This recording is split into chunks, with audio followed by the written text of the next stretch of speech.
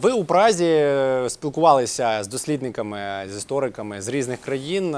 Ось на вашу думку, чи є зараз на заході розуміння, що далі буде з Росією в результаті війни з Україною, і якою хочуть на заході бачити Росію в результаті війни? Як ви гадаєте?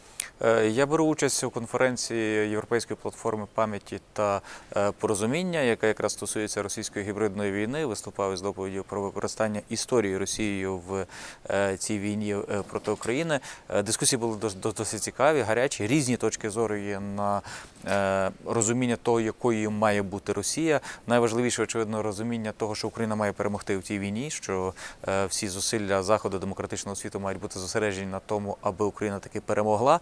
Е, Тез, моя теза, яку я доводив е, під час свого виступу, під час дискусії на цій конференції, полягає в тому, що одна з причин того, що Росія відкотилася так далеко назад в минулому, що Росії так і не вдалося подолати наслідків комуністичного минулого, як це вдалося в тій же Чехії і в інших посткомуністичних країнах, врешті-решт, як це вдалося в Україні, це те, що Росіяни постали перед подвійною проблемою подолання комуністичної тоталітарної спадщини і подолання російської імперської спадщини. Більшість народів, які мали колись імперії, французи, британці, е, німці, так чи інакше пройшли через процес засудження цього, імперського минулого, подолання імперського минулого. Росіян, на жаль, забракло відваги зробити це. Відтак це призвело до відкочування від демократичних стандартів, по- повернення по суті в совєтське минуле. Так от я переконаний, що е, Росі... в Росії має відбутися переосмислення не тільки комуністичного минулого, але й імперського минулого. Що Росія е, має бути, врешті-решт, перебудована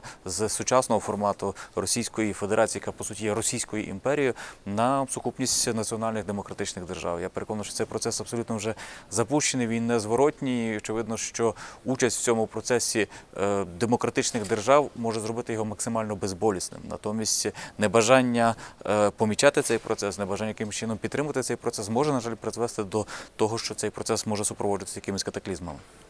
Ну і на посаді е, голови Інституту національної пам'яті ви активно займалися історичною пам'яттю, зокрема й важких сторінок історії українсько-польських відносин. Чи можна сказати, що нинішня повномасштабна агресія Росії і те партнерство, яке зараз виникло між Україною і Польщею, дозволить країнам перегорнути цю сторінку?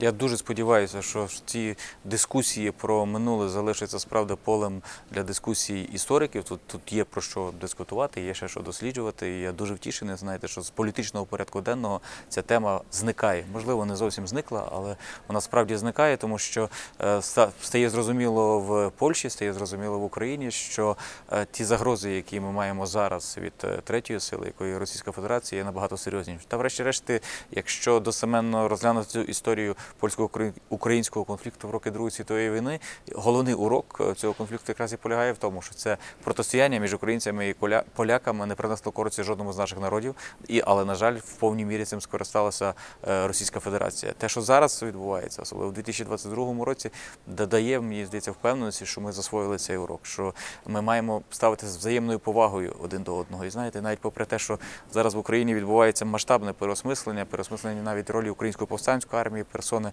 Степана Бандери, де далі більше людей визнають їх е, героями, тобто це показує соціологічні опитування.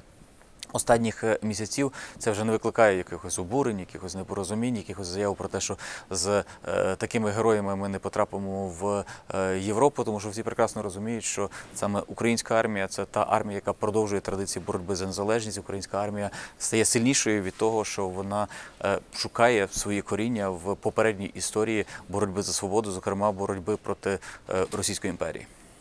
Незабаром День пам'яті жертв голодоморів. Е, Як би ви пояснили урядам іноземних держав, чому, зокрема, голодомор 32-33 років треба визнати геноцидом українського народу? Тому що це один з найстрашніших геноцидів, які були вчинені взагалі в людській історії. Це один з найстрашніших злочинів, які було вчинено е, комуністичним тоталітарним режимом, совєтським тоталітарним режимом. І саме незасудження цього злочину, небажання бачити тих злочинів, комуністичних злочинів, воно дозволяє Росії продовжувати по суті цю геноцидну політику. Є безпосередній зв'язок між е, тими геноцидними діями, які вчиняє Росія сьогодні на окупованих територіях України, і тим, що вона робила тут е, в Україні в е, 30-х роках, в 40-х роках. Переконаний, що засудження е, голодомору як геноциду в 32-33 роках. Я дуже втішений, що звернення до парламентів було ухвалено Верховною Радою нашою Верховною Радою України щодо такого щодо такого засудження. Воно е, стане додатковим кроком до стримування російської агресії, тому що це буде дуже важливий крок до розуміння суті російської агресії. На жаль, дуже багато з того, що ми свідками чого ми стали за останні місяці е, з боку Росії. По, суті, є повторенням того, що робилося в Україні протягом ХХ століття.